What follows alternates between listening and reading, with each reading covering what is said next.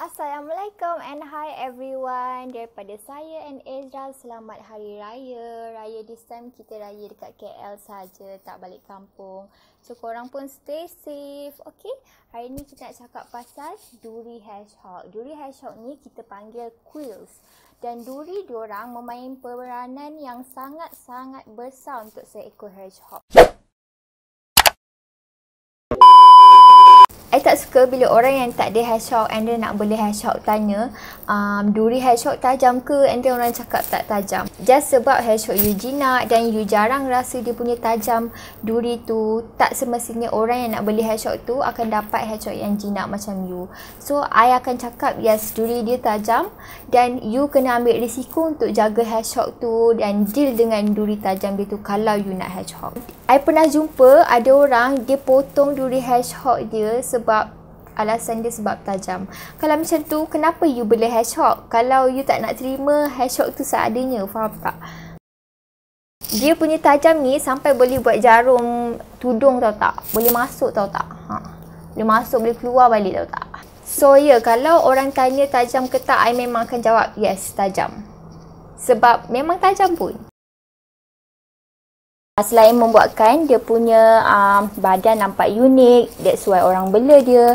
Tapi uh, selain daripada itu, dia memainkan peranan besar untuk keselamatan dia sendiri. Jadi, ramai orang yang tak bela hedgehog, dia salah faham. Ingatkan, duri hedgehog sama macam duri landak liar tu.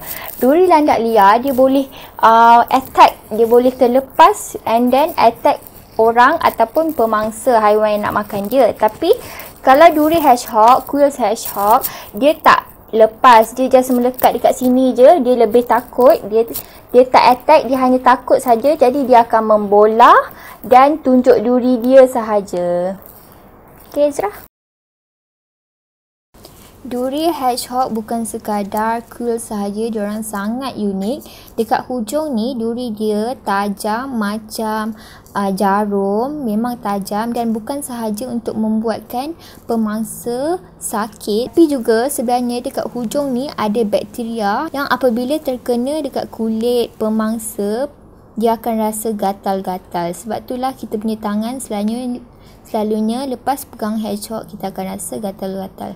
Dekat tengah ni, dekat dalam dia sebenarnya ada air chambers iaitu ada ruang-ruang udara yang bertindak sebagai menyerap impak bila hedgehog jatuh tergolek. Kalau perasan sebelum dia sampai ke bulat tu, dia ada macam lengkuk. Lengkuk tu bertindak untuk mengawal dia punya duri bila menegak ataupun menurun. Pentingnya duri dia untuk dia survive. Macam saya cakap tadi, dalam duri dia ada uh, udara, chamber udara. Jadi, chamber udara tu dia boleh meresap impak kalau dia tergolek jatuh dia akan membola dan duri dia yang akan meresap impact tu supaya dia tak sakit bahagian dalam. Duri dia bertindak sebagai defense kalau dia jatuh. Sebabkan dia punya duri ada udara jadi itu juga se- salah satu sebab dia boleh boat dekat dalam air dan dia boleh terapung macam pelampung. Jadi soalan yang paling famous bila menyebabkan duri quills hedgehog ialah kenapa duri quills hedgehog saya gugur. Sebenarnya gugur quills ni normal. Sometimes setiap hari dia akan gugur quills dia. Bila kita mandi, kita berus um, duri dia, ada duri yang dah tua akan gugur. Dia macam rambut kita lah. Setiap hari ada gugur juga. Tapi kalau gugur banyak sangat, contohnya dalam sehari daripada 20 quills sampai 100 quills maybe ada dua sebab dan penting untuk korang bezakan dua sebab ni sebab pertama ialah proses quilling. Proses quilling ni sangat-sangat normal, natural, which semua hedgehog, setiap hedgehog akan rasai. Proses quilling ni ialah proses salin kulit daripada kulit lama ke kulit baru. Jadi proses ni dia akan secara mendadak menyebabkan banyak quills yang gugur dan dalam masa yang sama banyak juga duri yang nak naik. Proses quilling yang paling penting berlaku terhadap semua hedgehog ialah waktu diorang berumur 7 hingga 12 minggu. Jadi lebih kurang waktu diorang umur 3 bulan ke bawah. Sebab tu bila korang baru beli hedgehog, selalunya hedgehog yang waktu baby umur 2 bulan orang jual um, maybe waktu tu dia uh, dalam proses cooling sebab tu dia tengah garang ataupun maybe dia memang semula jadi garang. Okay, so apa relatednya garang dengan proses cooling ni sebab proses cooling ni dia macam baby baby manusia yang tengah nak tumbuh gigi. So dia rasa gatal-gatal, dia rasa sakit kat gigi dia. So bila dia punya kulit rasa sakit sebab mendadak nak tumbuh banyak duri baru, dia akan jadi lebih senang stres, dia akan jadi uh, sakit, tak selesa kalau orang asyik pegang-pegang dia. Proses ni dalam satu-satu masa lain untuk setiap hedgehog.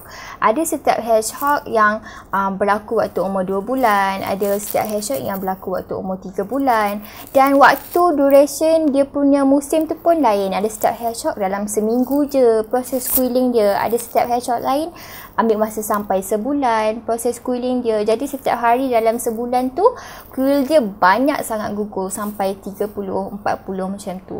Jadi as long as korang nampak dia punya duri tak sampai ada bahagian yang botak, maknanya tu selamat dia hanya mengalami proses cooling which is sangat-sangat normal lagi-lagi di kalangan baby hedgehog. Ada juga uh, hedgehog yang dia jenis on off. Sometimes waktu umur 2 bulan dia jadi jap seminggu proses cooling ada tiba-tiba dah okey and then waktu dia umur 3 bulan uh, jadi lagi dalam seminggu. Jadi dia berlainan untuk setiap hedgehog.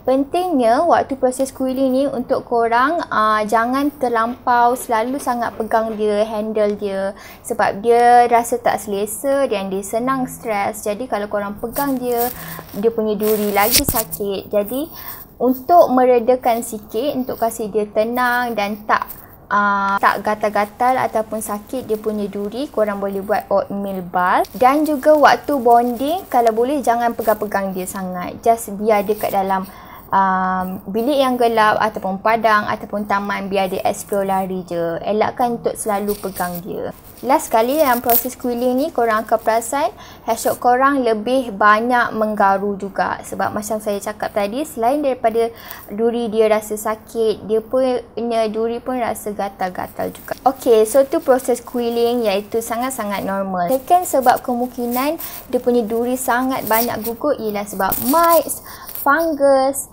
ataupun infection. Jadi yang ini korang kena sangat-sangat berhati-hati dan segera bawa ke vet. Macam mana nak bezakan proses cooling dengan mite, fungus ataupun infection ialah bila korang nampak jadi kalau botak maybe tu sebab kutu ataupun fungus ataupun infection kena terus bawa pergi vet.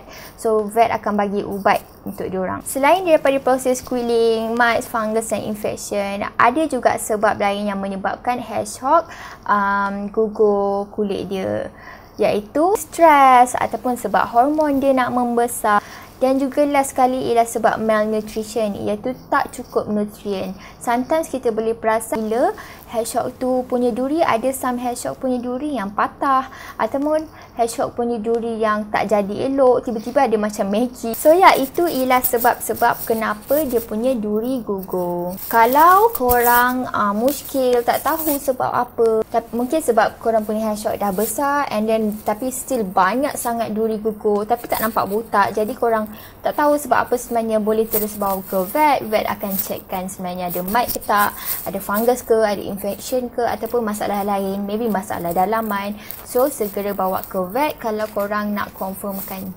Duri yang tak sihat ialah duri yang dekat dia punya kulit bawah duri tu ada macam kelimomo, nampak kulit kering ataupun uh, keruping-keruping. Jadi tu nampak sangat kulit kering. Duri pun akan jadi tak sihat. Jadi pentingnya untuk korang uh, melembabkan kulit dia melembabkan kulit dia dengan oatmeal bath ataupun bagi suplemen dekat hedgehog tu.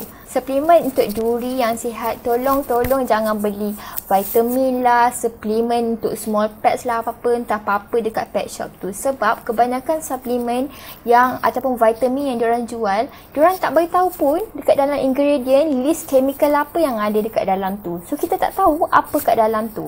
Alternatif yang sangat berkesan, sangat mujarab untuk kulit hedgehog yang sihat ialah dengan guna flaxseed oil organik ataupun uh, coconut virgin oil organic. Boleh tengok my uh, previous video I cakap pasal ni dan tunjuk demonstrate macam mana nak bagi hedgehog supplement. sebagai langkah berhati-hati sebelum tidur wajib untuk korang cek cache dia sebab takut ada duri yang gugur dan dia boleh terjalan dekat atas um, duri dia ataupun kulit dia terkena dekat hujung duri dia sendiri dan boleh kena infection juga macam Ezra pun pernah kena sekali Okay guys, so itu sahaja daripada saya dan Ezra. Selamat Hari Raya dan kita akan berjumpa lagi. Cakap banyak-banyak lagi pasal Hedgehog.